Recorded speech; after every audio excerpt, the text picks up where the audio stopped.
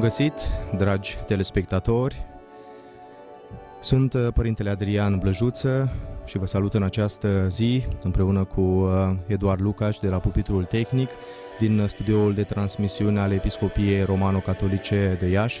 Sunteți în legătură cu uh, Catedrala Romano-Catolică Sfânta Fecioară Maria Regina din Iași, din care transmitem Sfânta Liturghie din Duminica Floriilor. Astăzi este și cea de-a 35-a zi mondială a tineretului. Este o zi importantă, celebrăm intrarea Domnului în Ierusalim și se marchează începutul săptămânii mari. Isus este primit ca un rege, astăzi sunt binecuvântate ramurile cu care se merge în procesiune, amintind de victoria lui Hristos. Știu că și unii dintre dumneavoastră deja ați pregătit aceste ramuri și le aveți lângă dumneavoastră. Vom asculta astăzi patima Domnului nostru Isus Hristos după Sfântul Matei. Vă invităm în această Duminică a Florilor să faceți locul lui Hristos, regele care vine la noi. Ne dispune minimile pentru a asculta cuvântul dumnezeiesc. Celebrează Sfânta Liturghie, Preasfințitul Iosif Păuleț, Tatălui și al Fiului și al Sfântului Duh.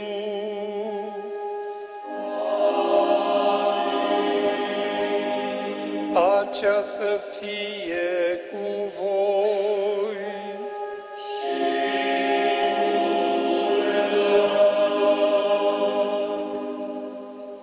Fraților prea iubiți, în timpul postului de 40 de zile, ne-am pregătit inimile pentru, prin pocăință și fapte de iubire, iar astăzi ne-am adunat să începem împreună cu întreaga biserică celebrarea misterului pascal al morții și învierii Domnului nostru Iisus Hristos, mister pentru împlinirea căruia el a intrat în cetatea sa Ierusalim, celebrând așadar cu toată credința și evlavia intrarea mântuitoare a lui Isus, să-L urmăm și noi pe Domnul, pentru ca, împărtășindu-ne prin har de crucea Lui, să avem parte de înviere și viață.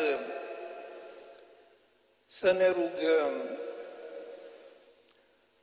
Dumnezeule atotputernic și veșnic, sfințește cu binecuvântarea Ta aceste ramuri, pentru ca noi care îl urmăm cu bucurie pe Regele Hristos, să putem ajunge la Ierusalimul cel veșnic, prin El care viețuiește și domnește, în vecii vecilor.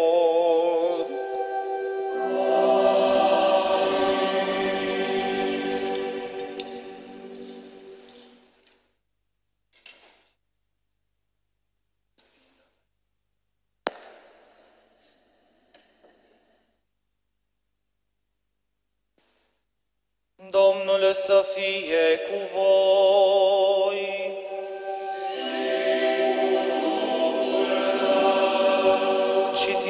Evanghelia Domnului nostru Isus Hristos după Sfântul Matei.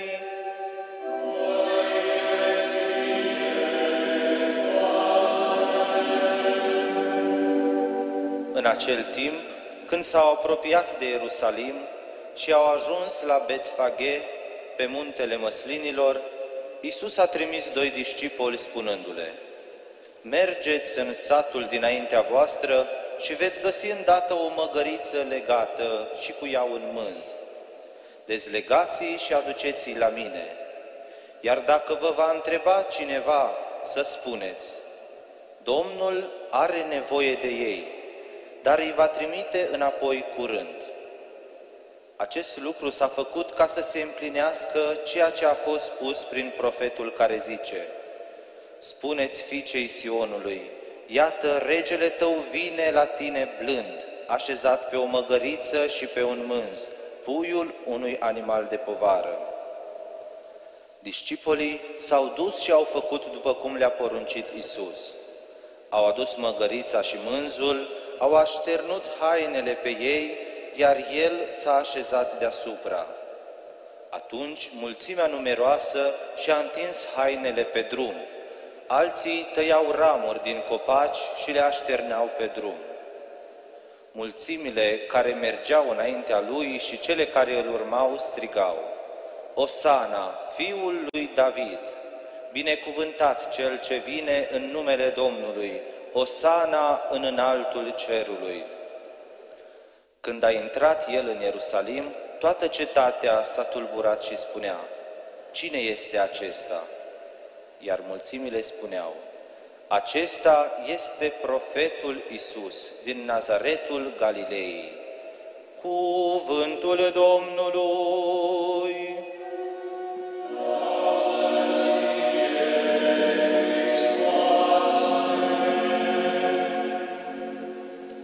Iubiți credincioși, începem astăzi, Duminica Floriilor, cea mai sfântă săptămână din timpul anului.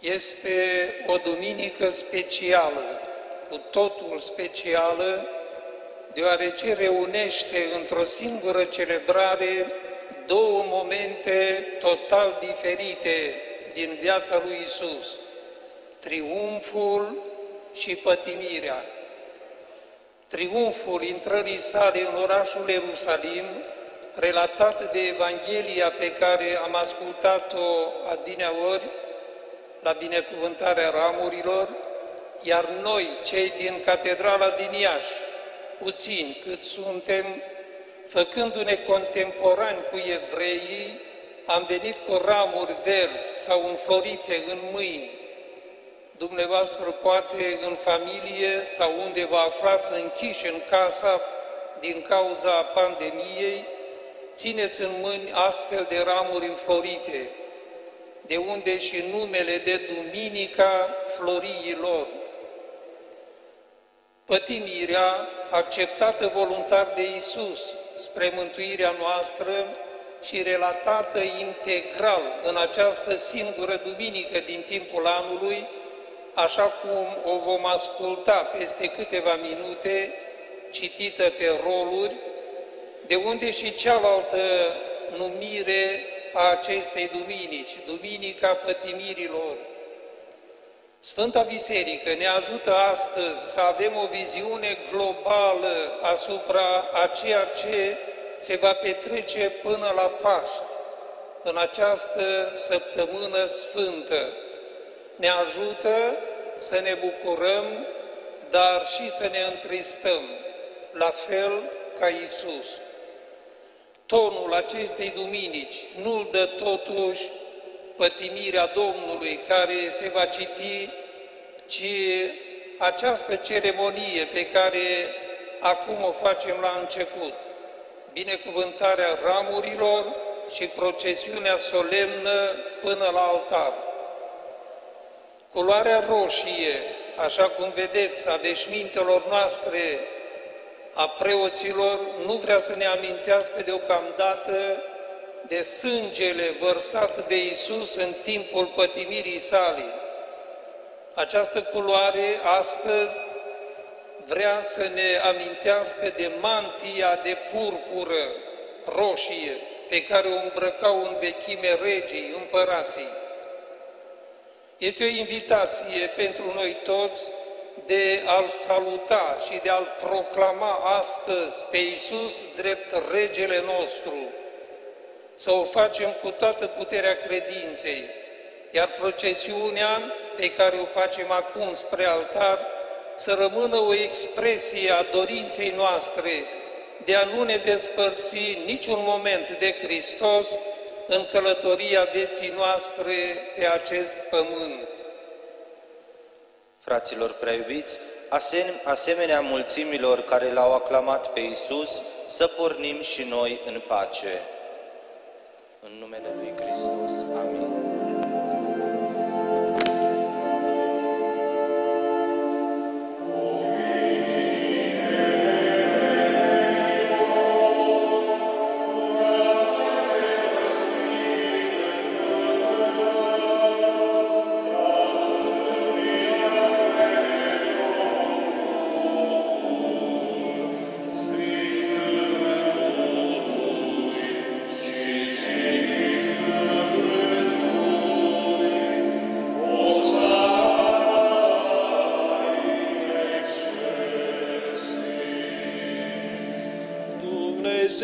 Este pentru noi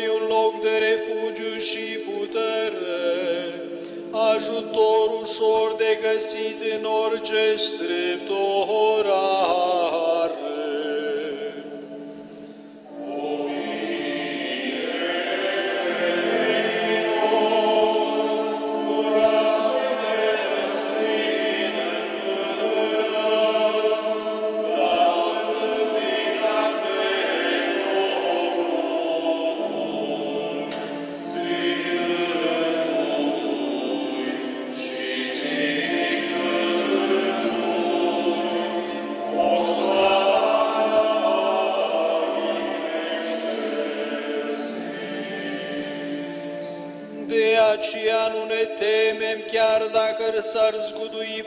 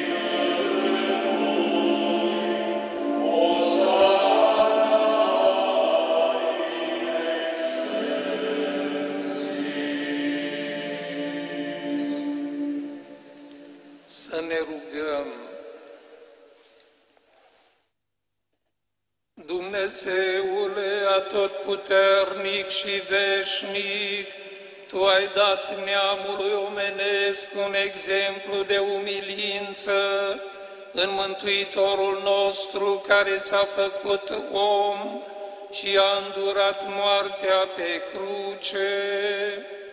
Dă-ne harul să învățăm al urma în răbdare, și astfel să ne învrednicim a fi părtași de învierea sa.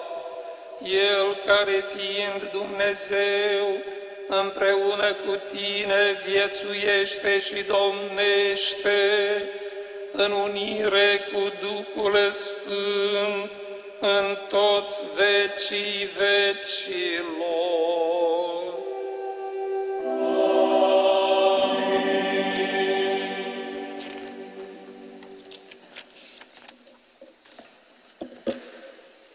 Citire din cartea profetului Isaia. Domnul mi-a dat o inimă înțeleaptă ca să știu să vorbesc celor desnădăjduiți. În fiecare dimineață El mă trezește. De dimineață mă trezește ca să ascult ca un ucenic. Domnul Dumnezeu mi-a deschis urechea, iar eu nu m-am împotrivit, nici nu m-am dat înapoi. Spatele mi l-am dat spre a fi lovit, obrajii spre a fi pălmuiți și fața nu mi-am întors-o de la cei care mă ocărau și mă scuipau. Domnul Dumnezeu îmi vine în ajutor, de aceea nu m-au doborât ocările. De aceea le-am oferit o față ca de cremene și știu că nu voi rămâne de rușine. Cuvântul Domnului.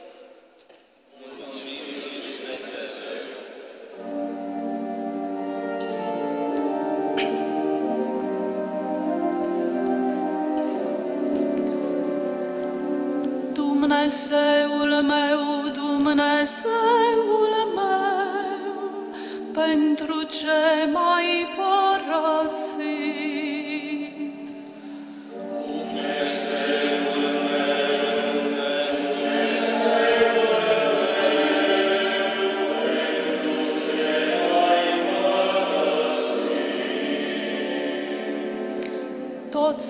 Mă văd își bat joc de mine, strâmbă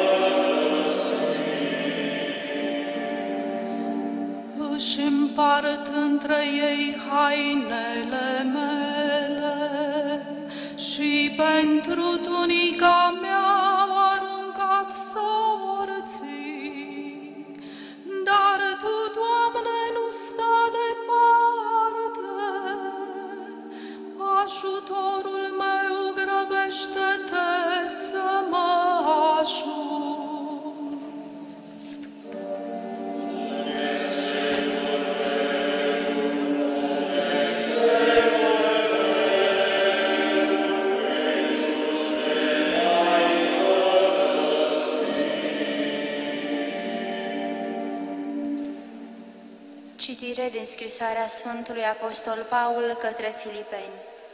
Fraților, Isus fiind din fire Dumnezeu, nu a considerat un beneficiu propriu egalitatea sa cu Dumnezeu, ci s-a despuiat pe sine luând firea sclavului, devenind asemenea oamenilor, iar după felul lui de a fi, a fost socotit ca un om. S-a umilit pe sine, făcându-se ascultător până la moarte și încă moartea pe cruce. Pentru aceasta și Dumnezeu l-a înălțat și a dăruit numele care este mai presus de orice nume, pentru ca în numele lui Isus să se plece tot genunchiul, al celor din ceruri, al celor de pe pământ și al celor de dedesubt, și orice limbă să dea mărturie că Isus Hristos este Domn, spre gloria lui Dumnezeu Tatăl. Cuvântul Domnului.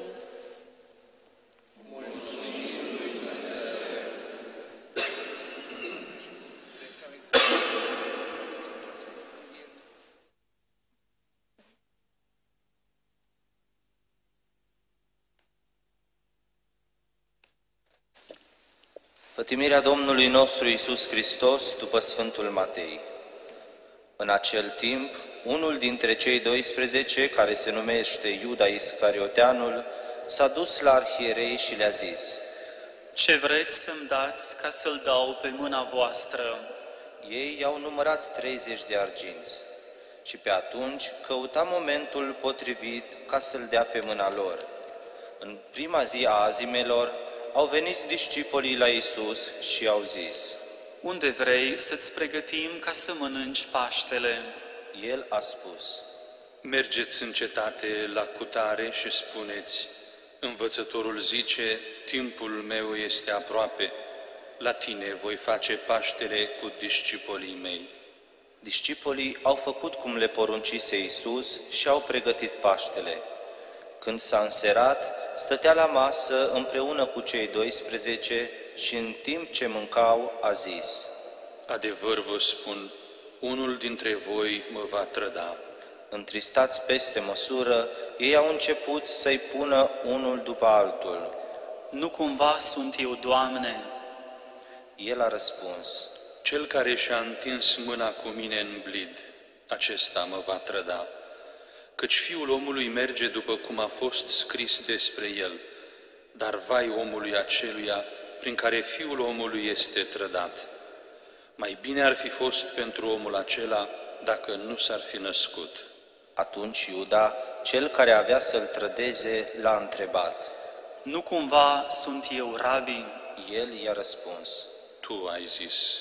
Și în timp ce mâncau, Isus a luat pâinea, a binecuvântat-o, a frânt-o, a dat-o discipolilor și le-a spus. Luați, mâncați, acesta este trupul meu. Apoi, luând potirul, după ce a mulțumit, le-a dat lor spunând, Beți din acesta toți, căci acesta este sângele meu, al alianței care se varsă pentru mulți spre iertarea păcatelor. Vă spun că nu voi mai bea din acest rod al viței până în ziua în care îl voi bea cu voi nou în împărăția Tatălui meu. Și după ce au cântat imnul, au plecat spre muntele măslinilor. Atunci Isus le-a spus, Voi toți vă veți scandaliza din cauza mea în noaptea aceasta, căci este scris, voi bate păstorul și oile din turmă se vor risipi.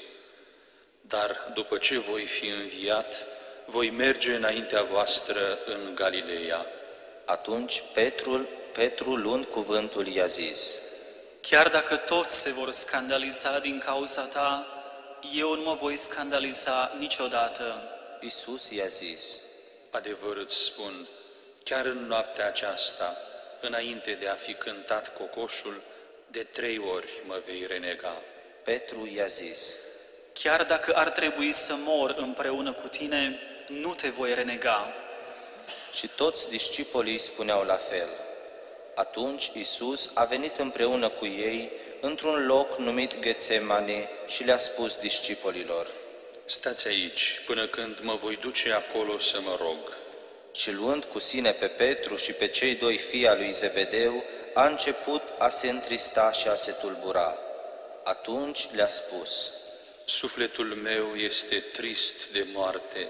Rămâneți aici și vegheați cu mine. și mergând puțin mai încolo, a căzut cu fața la pământ, spunând, Tată, dacă este posibil să treacă de la mine potirul acesta, dar nu cum vreau eu, ci cum vrei tu. Apoi a venit la discipol și i-a găsit dormind.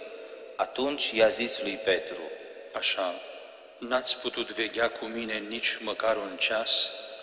Vegheați și rugați-vă ca să nu intrați în ispită, căci Duhul este plin de avânt, dar trupul este slab. iarăși, pentru a doua oară, a plecat și s-a rugat spunând, Tată, dacă nu este posibil ca să treacă acest potir fără ca să-l beau, să se facă voința ta. Venind, i-a găsit din nou dormind, căci ochii le erau îngreu, îngreuiați de somn. Lăsându-i, a plecat din nou și s-a rugat pentru a treia oară, spunând iarăși aceleași cuvinte. Atunci a venit la discipol și le-a spus, Dormiți mai departe și odihniți-vă. Iată, a venit ceasul și Fiul omului este dat pe mâna păcătoșilor. Sculați-vă să mergem. Iată, cel care mă trădează este aproape. Pe când încă mai vorbea, a venit Iuda, unul dintre cei 12, și împreună cu el o mulțime mare, cu săbii și ciomege, din partea arhiereilor și a bătrânilor poporului, iar trădătorul lui le dăduse un semn spunând, Cel pe care îl voi săruta, acela este, prindeți-l. S-a apropiat îndată de Isus și i-a zis, Bucură-te, rabi, și l-a sărutat, dar Isus i-a spus, Prietene, pentru aceasta ai venit. Atunci, apropiindu-se, au pus mâna pe Isus și l-au prins. Și iată, unul dintre cei care erau cu Isus, întinzându-și mâna, a scos sabia, l-a lovit pe unul dintre servitorii marelui preot și i-a tăiat urechea. Atunci Isus i-a zis, Puneți sabia la locul ei, căci toți cei care pun mâna pe sabie, de sabie vor pieri. Sau crezi că n-aș putea să-l rog pe tatăl meu și mi-ar pune îndată la dispoziție mai mult de 12 legiuni de îngeri? Dar cum s-ar mai împlini scripturile că așa trebuie să fie? În ceasul acela, Isus a spus mulțimilor, Ați ieșit ca împotriva unui tâlhar cu săbii și cu ciomege ca să mă prindeți. Zi de zi stăteam în templu învățând și nu m-ați arestat. Toate acestea s-au făcut ca să se împlinească scripturile profeților. Atunci toți discipolii, părăsindu-l, au fugit. Cei care l-au arestat pe Isus l-au dus la marele preot, Caiafa, unde se adunaseră cărturarii și bătrânii. Iar Petru l-a urmat de departe până în curtea marelui preot și intrând, s-a așezat printre servitori ca să vadă sfârșitul. Arhiereii și tot Sinedriul căutau o mărturie falsă împotriva lui Isus ca să-l condamne la moarte, dar nu găseau, deși s-au prezentat mulți martori falși. În cele din urmă au venit doi și au zis, Acesta a spus, pot să distrug templul lui Dumnezeu și în trei zile să-l reconstruiesc. Ridicându-se, marele preot i-a zis, Nu răspunzi nimic?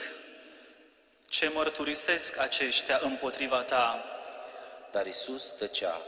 Atunci marele preot i-a zis, Te conjur pe Dumnezeul cel viu să ne spui dacă tu ești Hristos, Fiul lui Dumnezeu. Isus i-a răspuns, Tu ai zis, ba vă spun, de acum îl veți vedea pe Fiul omului șezând la dreapta puterii și venind pe norii cerului.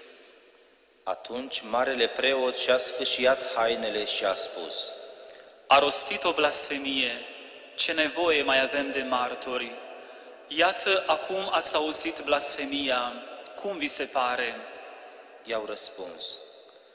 Este vrednic de moarte. Atunci l-au scuipat în față și l-au lovit cu pumnii. Alții l-au pălmuit spunând, Profețește-ne, Hristoase, cine este cel care te-a lovit? iar Petru ședea afară în curte. S-a apropiat de el o servitoare și i-a zis, Și tu erai cu Isus Galileanul. dar el a negat înaintea tuturor spunând, Nu știu ce vorbești. În timp ce se îndrepta spre poartă, l-a văzut-o alta și a zis celor de acolo, Acesta era cu Isus Nazarineanul. dar el a negat din nou cu jurământ. Nu-l cunosc pe omul acela. Puțin după aceea s-au apropiat cei care erau acolo și i-au zis lui Petru, Într-adevăr, și tu ești dintre ei, pentru că și accentul tău te trădează. Atunci a început să se blesteme și să înjure Nu-l cunosc pe omul acela. și îndată a cântat cocoșul. Atunci a amintit Petrul de cuvântul lui Isus care îi spusese, îndată de a, înainte de a cânta cocoșul, de trei ori mă vei renega. Și ieșind afară, a plâns amar. Iar când s-a făcut dimineață, toți arhiereii și bătrânii poporului au ținut consiliu împotriva lui Isus ca să-l condamne la moarte. Și legându-l, l-au dus și l-au predat lui Pilat, guvernatorul. Atunci Iuda, cel care l-a trădat, văzând că el fusese condamnat, cuprins de remușcare, a adus înapoi arhiereilor și bătrânilor cei 30 de mon- cele 30 de monede de argint, spunând, Am păcătuit văz- văr- vânzând sânge nevinovat. dar ei i-au zis, Ce ne privește, tu vei vedea. și aruncând banii în templu, a plecat și s-a dus să se spânzure, iar arhiereii, luând banii, au zis, Nu este permis să-i punem în tezaur, căci sunt prețul sângelui. și după ce au ținut consiliu, au cumpărat cu ei ogorul olarului pentru îngroparea străinilor. De aceea se numește ogorul acela până astăzi, ogorul sângelui. Atunci s-a împlinit ceea ce a fost spus prin profetul Ieremia, care zice, și au primit 30 de arginți, prețul celui vândut, care a fost stabilit de fiii lui Israel, și i-au dat pe ogorul olarului, așa cum îi poruncise Domnul. Isus stătea înaintea guvernatorului, iar guvernatorul l-a întrebat. Tu ești regele iudeilor? Isus a răspuns Tu, Tu o o spui. și în timp ce era acuzat de arhierei și de bătrâni, nu răspundea nimic. Atunci i-a zis Pilat, Nu auzi câte mărturisesc aceștia împotriva ta?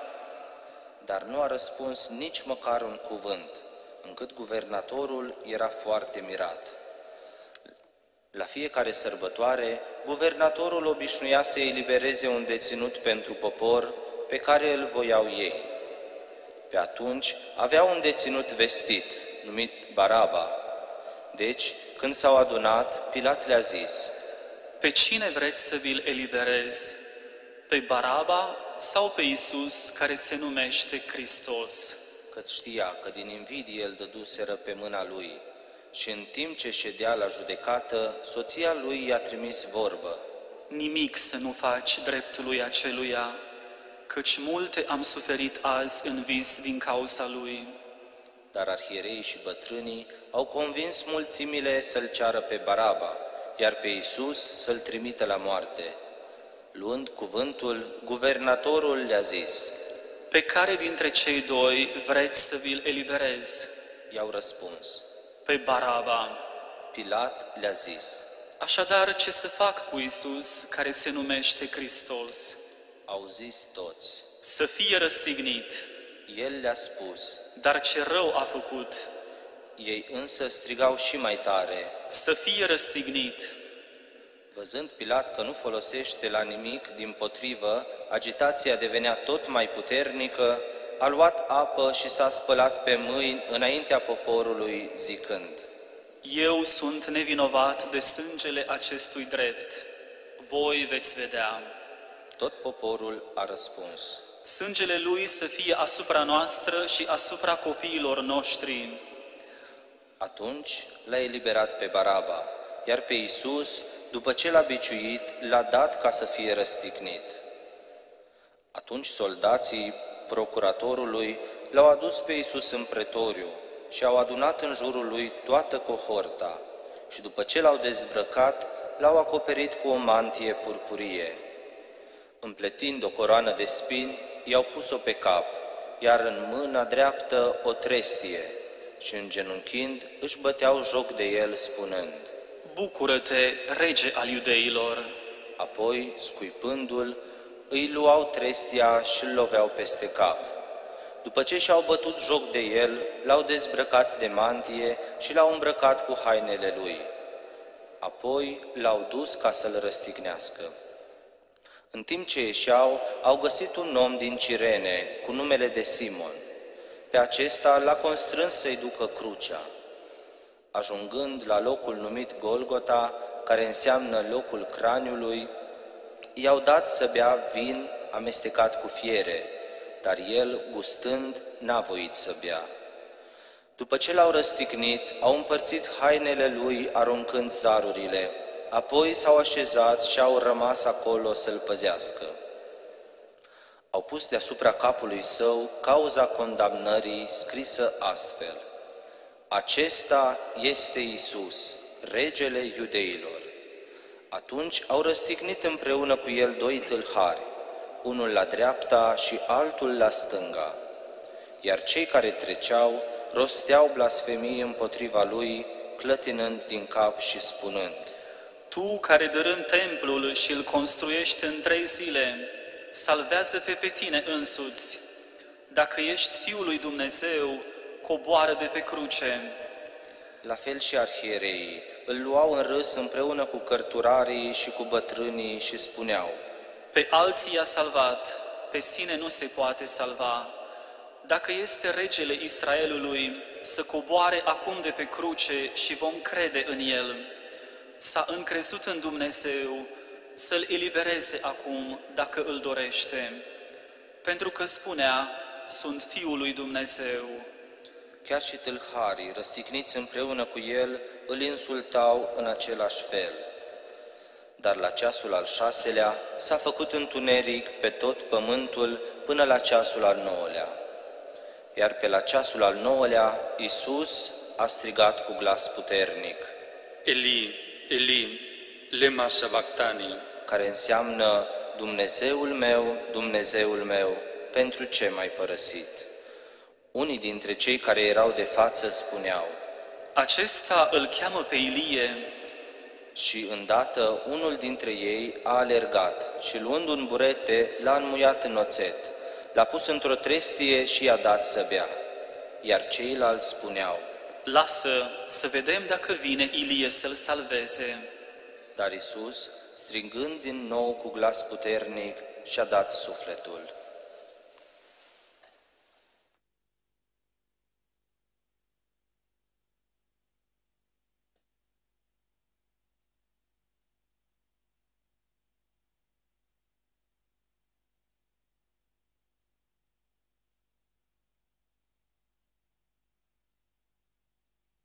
Și iată, catapeteasma templului s-a sfâșiat în două de sus până jos.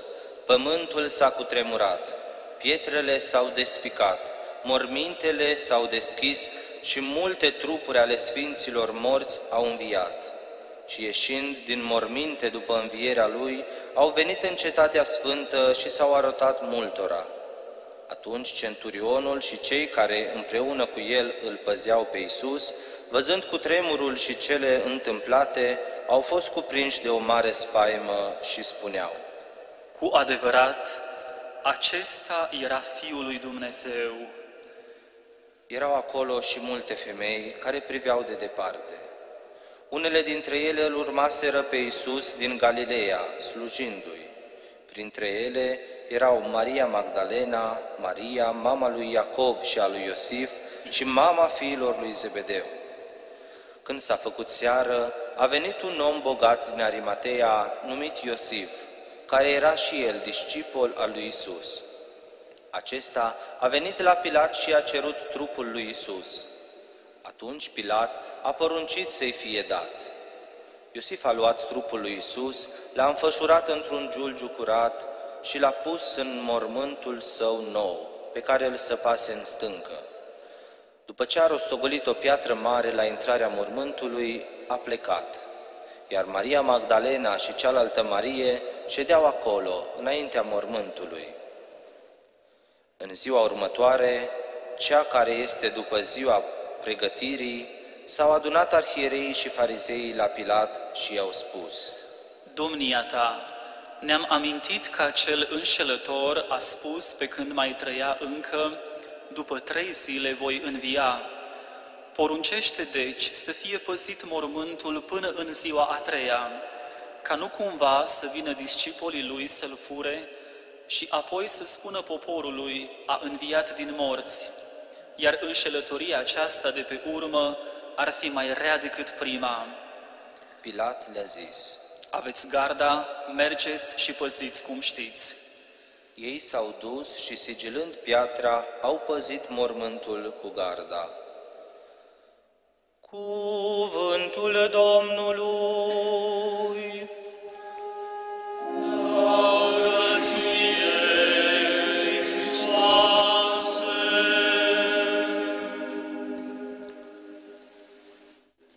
Iubiți frați într-o preoție, dragi surori, iubiți credincioși de toate vârstele, care sunteți în comuniune cu noi, cei puțini, din Catedrala Romano-Catolică din Iași.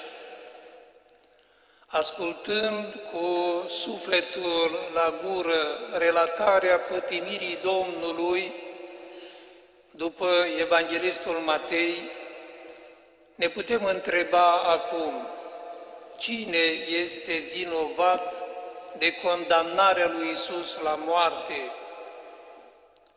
Desigur, sunt vinovați evrei, autoritatea religioasă de atunci, evreii care l-au condamnat pe Isus pentru că s-a făcut Fiul lui Dumnezeu. Erau vinovați și romanii, autoritatea civilă, romanii care l-au condamnat de Isus pentru că s-a pretins a fi rege, a fi împărat. Ori unul singur era împăratul lor, cel de la Roma, considerat ca o divinitate. Era vinovat și Iuda, care l-a trădat pe Isus și l-a vândut pentru un preț derizoriu de 30 de arginți. Era vinovat și Petru, care l-a renegat pe Iisus în fața unei simple servitoare. Era vinovat și Pilat, scepticul Pilat, care, ați auzit, și-a spălat mâinile, crezând că prin aceasta își spală și vinovăția condamnării lui Isus la moarte. A fost vinovat și Baraba, un tâlhar, un bandit, care întâmplător a fost adus și eliberat. Nu Isus, ci acest bandit, acest tâlhar. Era vinovat pentru că era un mare păcătos. Erau vinovați și cei doi tâlhari răstigniți, unul de-a dreapta și altul de-a stânga lui Isus. Pentru că și ei erau vinovați, păcătoși, că nu degeaba au fost răstigniți. Toți aceștia au fost vinovați, într-adevăr, dar nu ei erau cei mai vinovați de moartea lui Isus, de condamnarea lui la moarte. Nu, ci noi, din cauza păcatelor noastre și ale lumii întregi. Petru era conștient de acest lucru atunci când, după convertirea lui, scria în scrisoarea sa aceste cuvinte, citez, El, adică Hristos, a purtat în trupul său păcatele noastre pe lemnul crucii. Cu ce sentimente să trăim noi săptămâna sfântă, despre care v-am spus la începutul celebrării, este într-adevăr cea mai sfântă săptămână din tot timpul anului. Cu ce sentimente să trăim noi această săptămână? Vă răspund cu legenda răstignitului din Würzburg, din Germania. Într-o biserică din acest oraș se afla un răstignit foarte venerat de credincioși. Răstignitul avea pe cap coroana de spini din aur. Un hoț, aflând de acest lucru, a spart biserica noaptea, a intrat în biserică, s-a urcat pe altarul unde era crucea răstignitul Iisus, s-a cățărat și a pus mâna ca să smulgă coroana aceea de aur din capul lui Isus, de pe capul lui Isus. Și spune legenda că în acel moment, prin minune, mâinile răstignitului s-au desprins de pe cruce și l-a îmbrățișat pe hoț. Dimineața, când s-a deschis biserica, hoțul a fost găsit în brațele lui Isus, plângându-și păcatele. La fel și noi, să ne lăsăm cuprinși, să ne lăsăm îmbrățișați de iubirea lui Hristos, de brațele lui Sfinte, în această săptămână în mod special și să ne plângem păcatele noastre. El sigur ne va ierta. În anul 2005-2006, deci nu de mult, din august 2005 până în august 2006, Madonna de Anguera, în Brazilia, a transmis lumii mai multe mesaje. Puteți să deschideți pe internet, pe Google, scriind acolo Madonna cu 2 de N, de Anguera și veți vedea mai multe imagini și detalii. Și atunci Maica Domnului, transmițând mai multe mesaje lumii, sigur, Biserica nu s-a pronunțat oficial, după cum sunt și alte apariții și mesaje venite din cer, despre care Biserica nu s-a pronunțat oficial, dar atunci Maica Domnului în mesajele transmise, a prevestit pandemia pe care o trăim noi astăzi și de mai multe ori a spus acest lucru, spunând că pe tot rotogolul pământului vor fi milioane de cadavre. De ce? Pentru că omenirea s-a îndepărtat de Dumnezeu pentru că oamenii, mulți oameni, s-au substituit lui Dumnezeu, se cred ei Dumnezeu, nu vor să-L mai respecte pe Dumnezeu, suveranitatea Lui, păcătuiesc fără să le pară rău, considerând că făcând păcate chiar fac fapte bune. Și îndemna Maica Domnului spunând că eu sunt cu voi, copiii mei, în aceste momente de durere, de încercare, de suferință, nu vă părăsesc, dar rugați-vă mult, rugați-vă mult, ca Dumnezeu să îndepărteze această pandemie din lume. Și ultimele cuvinte pe care ea le-a rostit în aceste mesaje au fost aceleași ca în 1858 la Lourdes. Faceți pocăință, faceți pocăință, faceți pocăință. De trei ori a spus acest lucru. Iubiți credincioși, cu sufletele căite, cu dorința de a face pocăință pentru păcatele noastre, cu hotărârea de a ne îndrepta viața, știind că noi suntem principalii vinovați ai suferințelor lui Isus, ai condamnării sale la moarte, vom trăi cu real folos și cu mare bucurie spirituală această sfântă săptămână. Așa să ne ajute Dumnezeu și mama noastră cerească. Amin. Și acum să ne mărturisim credința. Cred într-unul Dumnezeu, Tatăl Atotputernicul, Creatorul cerului și al pământului, al tuturor văzutelor și nevăzutelor, cred într-unul Domn, Iisus Hristos, Fiul lui Dumnezeu, unul născut, care din Tatăl s-a născut, mai înainte de toți vecii, Dumnezeu din Dumnezeu, lumină din lumină, Dumnezeu adevărat din Dumnezeu adevărat, născut, iar nu creat, de o ființă cu Tatăl, prin care toate s-au făcut, care pentru noi oamenii și pentru a noastră mântuire s-a coborât din ceruri, s-a întrupat de la Duhul Sfânt, din Maria Fecioara și s-a făcut om, s-a răstignit pentru noi sub Ponciu Pilat,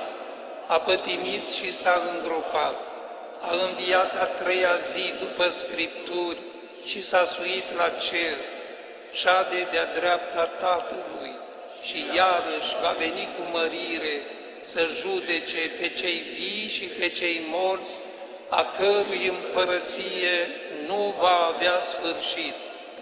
Cred în Duhul Sfânt, Domnul și de viață dătătorul, care de la Tatăl și de la Fiul purcede, care împreună cu Tatăl și cu Fiul este adorat și preamărit și a grăit prin proroci.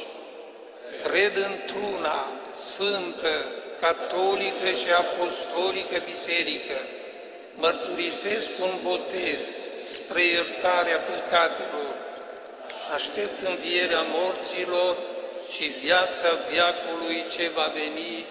Amin. Fraților prea iubiți, Iisus Hristos a fost supus voinței Tatălui Ceresc până la moarte, până la moartea pe cruce. Să-L rugăm să aibă milă de noi și să ne asculte. Doamne Iisuse Hristoase, care te-ai jertfit pentru păcatele noastre, prin sângele Tău scump, curăță Sfânta Biserică de orice prihană. Te rugăm, ascultă-ne. Călăuzește pe toți credincioșii la primirea cu vrednicia a sacramentelor pascale. Te rugăm, ascultă-ne. Nu îngădui pierderea niciunuia dintre cei chemați la mântuire. Te rugăm, ascultă-ne. Dă-le tărie și răbdare tuturor celor care te urmează pe calea grea a crucii. Te rugăm, ascultă-ne. Fă ca rănile tale, sfinte, să fie izvor de mântuire și de pace pentru toți oamenii. Te rugăm, ascultă-ne. Prin crucea ta sfântă, deschide cerul pentru cei răposați. Te rugăm, ascultă-ne. Pleacă-ți privirea, prea bunule Tată, asupra familiei tale, pentru care Domnul nostru, Iisus Hristos, s-a dat fără șovăire în mâinile celor nelegiuiți și a îndurat chinul crucii. El care viețuiește și domnește în toți vecii vecilor.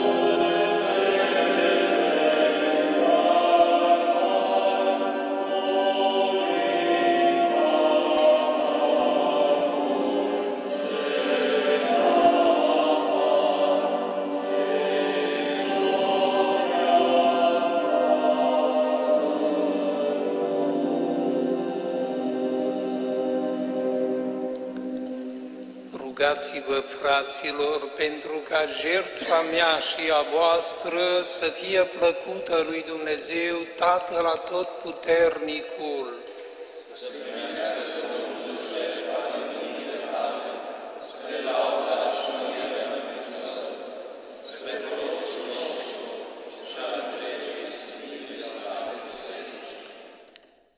Pătimirea Fiului Tău, unul născut, să apropie, Doamne, împăcarea Ta cu noi, deși nu suntem vrednici de ea prin faptele noastre, să ne întâmpine îndurarea Ta în puterea acestei jertfe unice, prin Hristos Domnul nostru.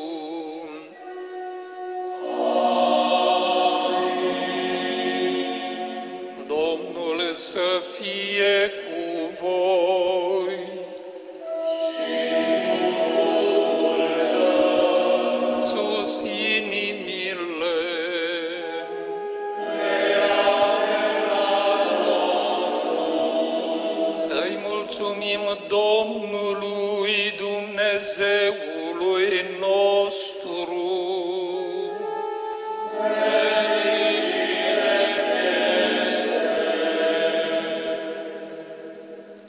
Adevărat vrednic și drept, de cuviință și mântuitor lucru este să-ți aduce mulțumiri pururea și în tot locul, ție, Doamne, Părinte Sfânt, atotputernic, veșnic Dumnezeu, prin Domnul nostru Iisus Hristos.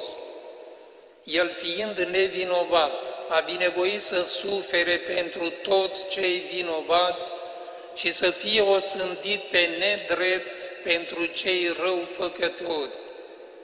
Moartea Lui a spălat greșelile noastre, iar învierea Lui ne-a dobândit viața nouă de sfințenie.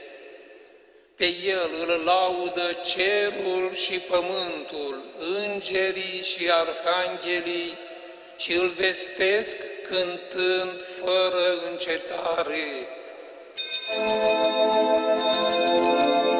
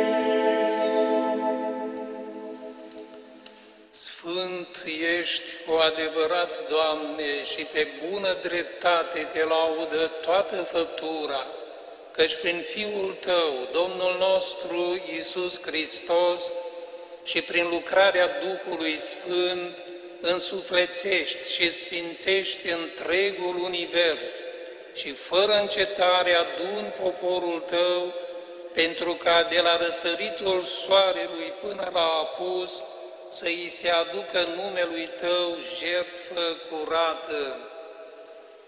De aceea, Doamne, te rugăm cu umilință să sfințești prin Duhul Tău darurile pe care ți le oferim, pentru ca ele să devină trupul și sângele Fiului Tău, Domnul nostru Iisus Hristos, din a cărui poruncă celebrăm aceste taine, căci El, în noaptea în care era vândut, a luat pâinea și mulțumindu-ți, a binecuvântat-o, a frânt-o și a dat-o ucenicilor săi zicând, Luați și mâncați din aceasta toți, acesta este trupul meu care se jertfește pentru voi.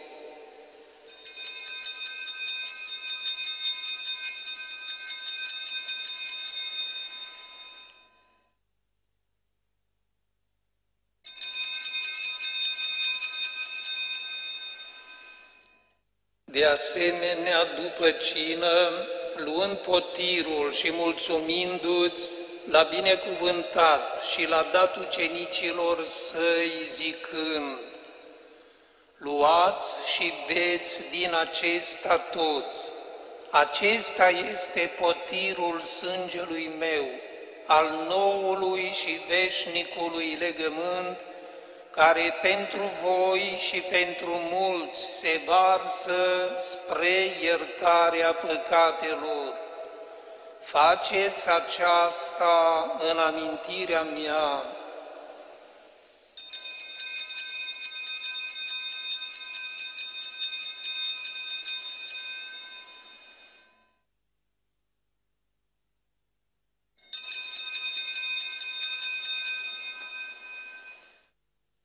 Misterul credinței.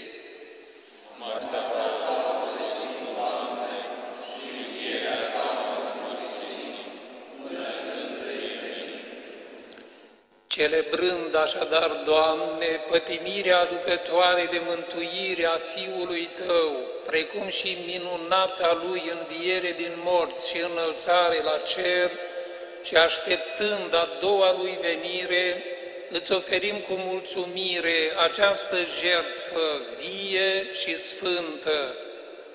Te rugăm, privește cu bunătate la darul bisericii tale și recunoscând în el jertfa prin care ne-ai împăcat cu tine, dă-ne nouă celor care ne hrănim cu trupul și sângele Fiului Tău, harul, ca din plinătatea Duhului Sfânt să devenim un singur trup și un singur suflet în Hristos. Duhul Sfânt să facă din noi un plinos veșnic, ca să dobândim moștenirea cerească împreună cu aleșii tăi. Mai întâi cu prea fericita Fecioară născătoare de Dumnezeu Maria, cu Sfântul Iosif, soțul ei, cu fericiții apostoli și slăviții martiri, și cu toți Sfinții, prin a căror mijlocire sperăm să fim întotdeauna ajutați de Tine. Te rugăm, Doamne, ca această jertfă a împăcării noastre să fie spre pacea și mântuirea lumii întregi. Binevoiește a întări în credință și dragoste Biserica Ta peregrină pe acest pământ, împreună cu slujitorii Tăi, Papa nostru Francisc și Episcopul nostru Iosif, cu toți episcopii, cu întregul cler și cu tot poporul pe care ți l-a dobândit Fiul Tău. Ascultă, Doamne, cu îndurare rugăciunile acestei familii pe care ai adunat-o în fața Ta. Întoarce-i la Tine, Părinte milostiv, și pe toți fiii Tăi risipiți spre Tutindeni. Pe frații noștri răposați și pe toți drepții care au trecut din această lume, primește cu bunătate în împărăția ta cerească, unde ne dăjduim să ne bucurăm și noi de apururi de mărirea ta, împreună cu ei, prin Hristos Domnul nostru, prin care Tu dăruiești lumii tot binele.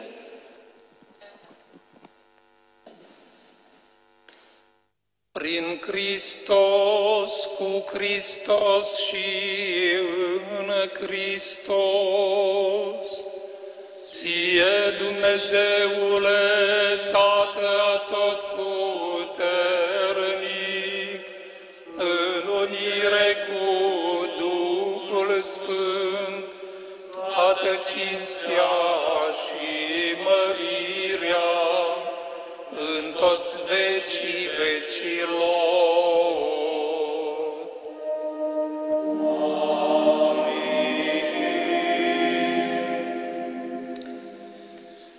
Amintindu-ne că la botez am primit demnitatea de copii ai lui Dumnezeu, conștienți și mândri de această mare demnitate, să ne unim glasurile și noi cei din catedrală și dumneavoastră toți care ne urmăriți și împreună să spunem cea mai frumoasă rugăciune, aceea pe care ne-a învățat-o Hristos, Domnul nostru.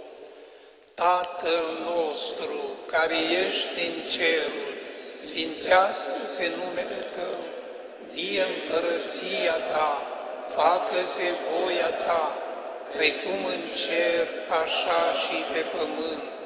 Pâinea noastră, cea de toate zilele, dă-ne nouă astăzi și ne iartă nouă greșelile noastre, și noi iertăm greșiților noștri și nu ne duce pe noi în ispită, ci ne mântuiește de cel rău. Mântuiește-ne, te rugăm, Doamne, de toate relele și binevoiește a da pacea în zilele noastre, pentru ca, ajutați de milostivirea Ta, să fim pururea liberi de păcat și feriți de orice tulburare, așteptând speranța fericită și venirea Mântuitorului nostru, Isus Hristos.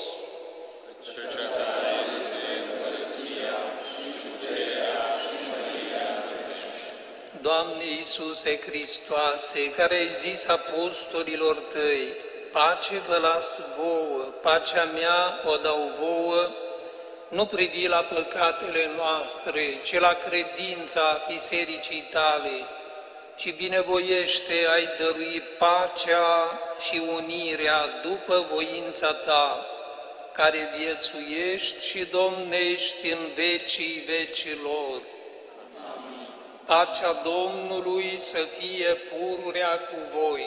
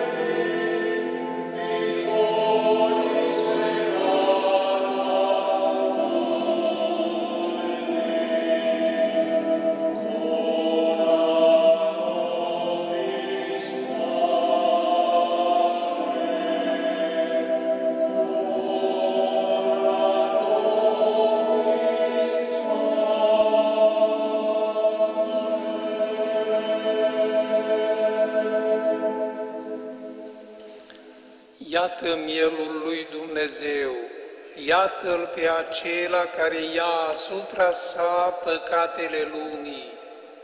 Gustați și vedeți cât de bun este Domnul.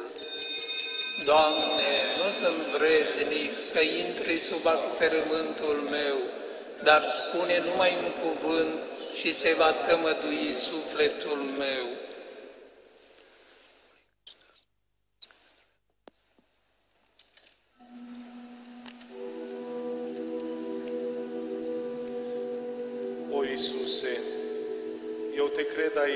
față în preasfântul sacrament al altarului. Te iubesc din toată inima și doresc să vii în sărmanul meu suflet, umilit și plin de căință. Știu că sunt nevrednic de un asemenea favor, dar mă încred în bunătatea Ta.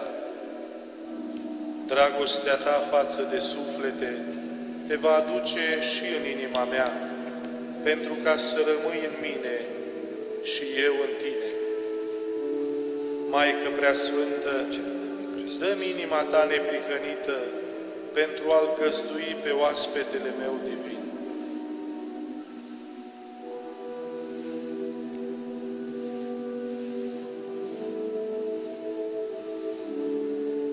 Te îmbrățișez, iubitul meu mântuitor, și mă dăruiesc cu totul ție. Dăm numai dragostea ta și fă-mă statornic, pentru ca niciodată să nu te părăsesc, ci să împlinesc întotdeauna voința ta. Amin.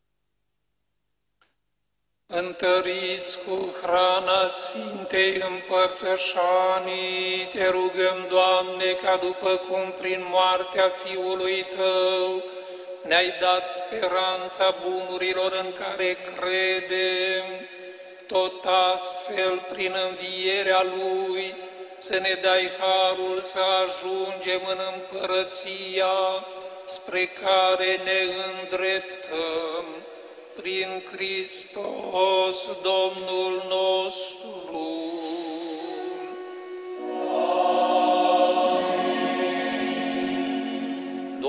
Domnul să fie cu voi. Să fie numele Domnului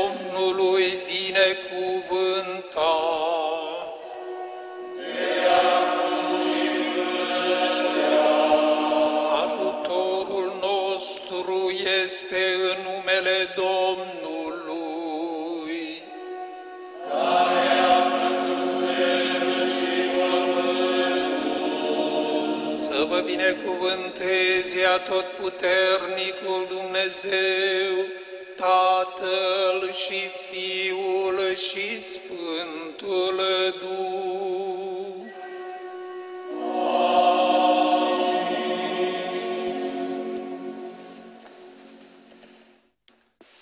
Iubiți credincioși, câteva anunțuri. Mai întâi, faptul că în fiecare duminică din această perioadă de carantină, care sperăm să dureze cât mai puțin, Preasfințitul Iosif Păuleț va celebra pentru toți credincioșii din dieceză Sfânta Liturghie de la ora 11.30, iar Părintele Adrian Blăjuță va asigura editarea video a transmisiunii. Cum se obișnuia în fiecare an de florii, după amiază va fi o singură liturghie la ora 17, prezidată de Preasfințitul Iosif. Fiind a 35-a zi mondială a tineretului, la ora 16 și 15 minute se va celebra Calea Sfintei Cruci cu texte speciale pregătite de tineri. Luni, marți și miercuri, programul este cel obișnuit, 6.30, 7.30 și 18. Miercuri, 8 aprilie, începând cu ora 17, se va desfășura în catedrală o celebrare penitențială. Dorim să ne pregătim cu toții sufletește cât mai bine pentru sărbătoarea Învierii Domnului, trezând în suflete o căință desăvârșite, desăvârșită pentru toate păcatele săvârșite. După ce se vor ridica restricțiile și vom putea circula în voie, Vă așteptăm la scaunele de spovadă pentru a primi și iertarea sacramentală. Joi 9 aprilie, Joia Sfântă, la ora 18 vom celebra Cina Domnului. După celebrare va urma un program de adorație a Preasfântului Sacrament până la miezul nopții, după cum urmează. Imediat după celebrare, până la ora 20, adorație pentru copii de la ora 20 adorație pentru toți credincioșii, de la ora 21 adorație pentru tineri, de la ora 22 adorație pentru persoanele consacrate, iar de la ora 23 adorație pentru preoți. Vineri 10 aprilie, Vinerea Sfântă, la ora 18, Pătimirea Domnului. Vă reamintim, este zi de post și abstinență. Sâmbătă la ora 21 începe liturgia solemnă a Învierii Domnului. Duminică 12 aprilie este Paștele, Învierea Domnului. Programul Sfintelor Liturghii va fi astfel. La ora 8, liturgia transmisă la Radio Iași pe 1053 AM, la ora 9 și un sfert, la ora 11 și jumătate, la ora 16 și la ora 18 luni 13 aprilie, a doua zi de Paști, vom avea liturghiile ca și duminica, 8, 9 și un sfert, 11, 30, 16 și 18. Iar marți, 14 aprilie, a treia zi de Paști, vor fi trei sfinte liturghii, la 8, la 11.30 și la 18. Vă invităm să urmăriți cu atenție și integral transmisiunile din catedrală și să vă comportați ca și cum ați fi de față, adică stați în picioare, în genunchi sau în șezut și rugați-vă, cântați sau păstrați tăcerea atunci când este cazul. În condițiile de față, aceasta este modalitatea cea mai adecvată de a fi în comuniune și de a ne alimenta, de a ne hrăni credința. Îl rugăm pe Bunul Dumnezeu să se îndure de noi toți, să ne ierte și să ne elibereze cât mai curând de povara acestei pandemii, iar Hristos cel înviat să ne readucă speranța și bucuria în suflete. Lăudați să fie Iisus Hristos! Liturgia s-a sfârșit, mergeți în pace.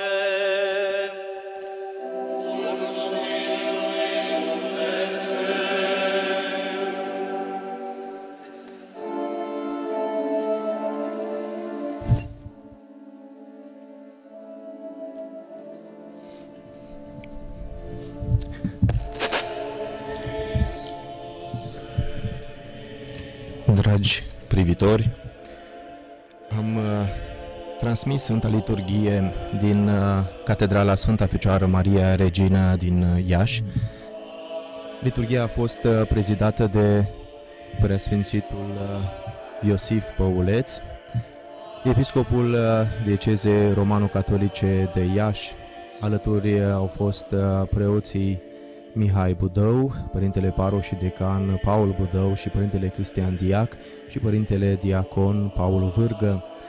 Rugăciunea și cântarea la această sfântă liturghie au fost uh, susținute de un cor realizat din uh, preoții care slujesc la catedrală, dirijat de Părintele Robert Rătan. Cei care au citit uh, lecturile sfinte sunt surori care activează, care slujesc la Catedrala din Iași din uh, congregația Slujitoarele lui Hristos Marele Preot. Am început, suntem deja în această săptămână mare prin uh, solemnitatea pe care o trăim astăzi, Duminica Florilor. Vă invităm să fiți alături de noi, să urmăriți celebrările din Catedrala Sfânta Fecioară Maria Regina din Iași și să trăim cât mai bine acest timp sfânt.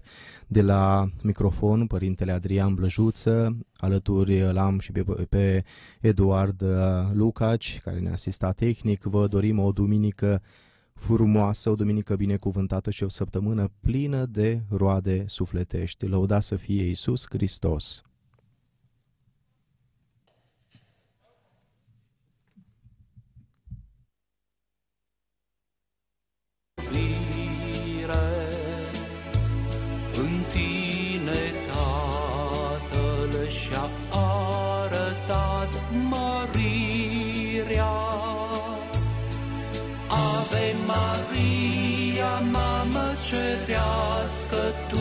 Ești regina cerului.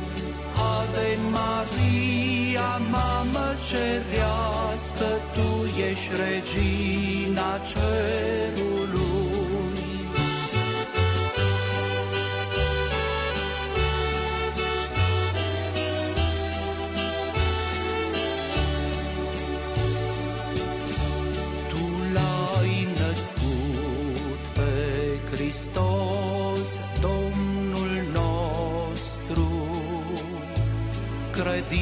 Credința ta ne întărește în drumul vieții.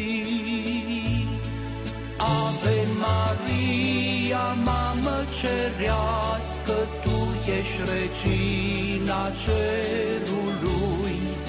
Ave Maria, Mamă Cerească, Tu ești regina cerului.